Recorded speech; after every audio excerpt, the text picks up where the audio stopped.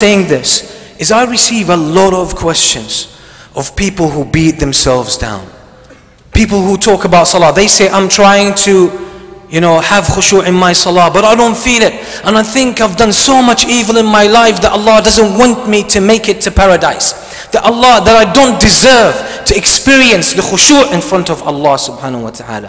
What makes a person beat themselves like that?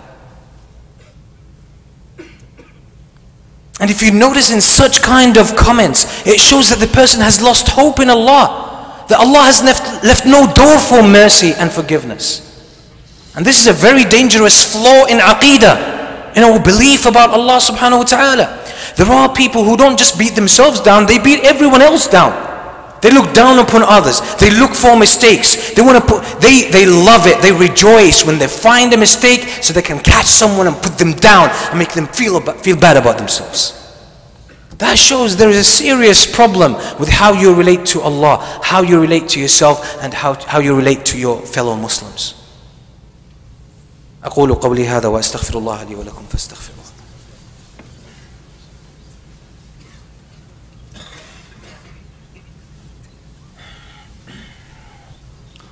الحمد لله رب العالمين والصلاة والسلام على سيدنا محمد وعلى آله وصحبه أجمعين وبعد Our religion, our way of life, Islam is a way is a religion of balance. There is balance in everything. And It's the most healthy way of living and approaching life. But sometimes culture takes over. As Umar ibn Abdul Aziz, rahimahullah ta'ala, he says, كيف أنتم?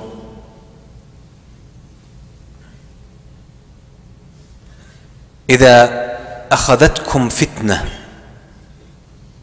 حرم عليها الكبير ونشأ عليها الصغير وأسلم عليها الأعجمي فإذا غيرت قيل غيرت السنة. Something similar was narrated from Abdullah ibn Mas'ud radiallahu anhu. He says, How are you when you grow up in a fitna, a trial, a misunderstanding?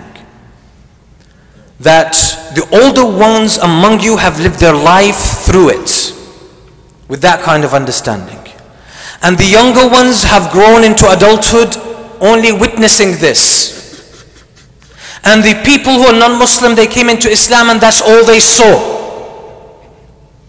And people think this is the religion to a point when this is actually changed and corrected, people say the sunnah has been changed. When you change it and challenge it, they say you're challenging Islam and you're challenging the sunnah. So people have become entrenched in these wrong ways, these false cultures, inaccurate cultures. And it seems a lot of us, a lot of us Muslims have fallen into this negative approach. That Allah, that our view of Allah is that Allah is out to get us. Allah wants to put us down. That it's all about fear of Allah subhanahu wa ta'ala. Yes, there is a place for discipline in our religion. There is a place for fear. There is a place for obligation and commitment. But there is a place as well for inspiration. And there is a place for positivity. There's a place for love of Allah subhanahu wa ta'ala. There's a place for hope. And we should put a balance. And interestingly, usually when we talk about the mercy of Allah and the love of Allah subhanahu wa ta'ala, some voices here and there start saying, but there is a balance, there should be fear as well. These are the people who usually talk only about fear. And balance becomes an issue for them only when you talk about the mercy and the love of Allah subhanahu wa ta'ala. And that's a very dangerous proclivity in our approach the reason is, the reason is this religion belongs to Allah. This religion belongs to Allah. When, when you preach and educate and give an impression about it that is inaccurate, that is incorrect, you are committing a great crime against Allah subhanahu wa ta'ala. That's why the Prophet sallallahu alaihi wasallam, when he used to send some of his companions in order to lead or to invite people to Islam, he used to say, Bashiru wa la tunaffiru. Or Bashira wa la when he spoke to two of his companions. He says, Innama bu'ithtum muyassirin wa lam tub'athu mu'assirin. You were sent as people who would bring, bring ease, not bring hardship.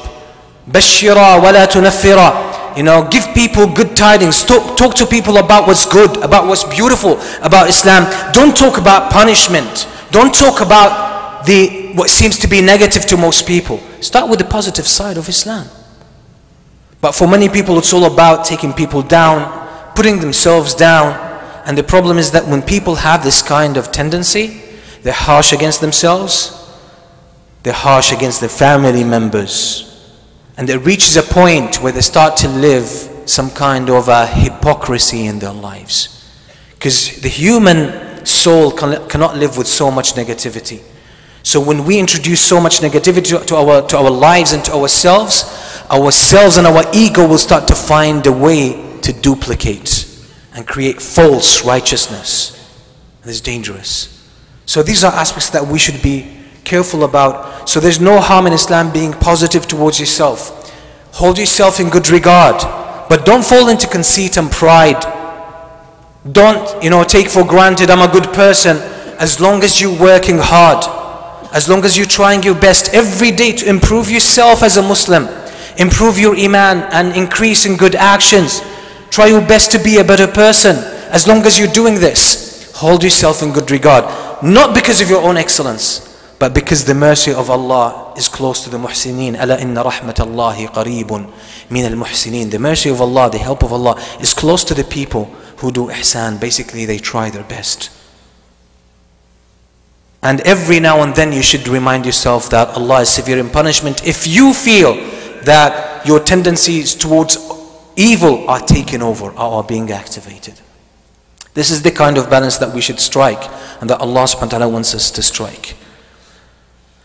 Something else I just want to share with you quickly again is a, is a, is a gratitude as the Prophet ﷺ says, Man la yashkur nas la yashkur He who is not thankful to humanity to people will not be thankful to Allah subhanahu wa ta'ala.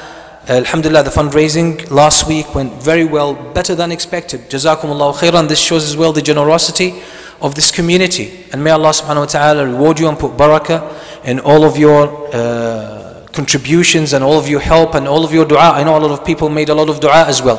So may Allah accept from you and may Allah reward you and recompense you with better than that in this world and in the next. And the final thing that I want to share with you is basically that we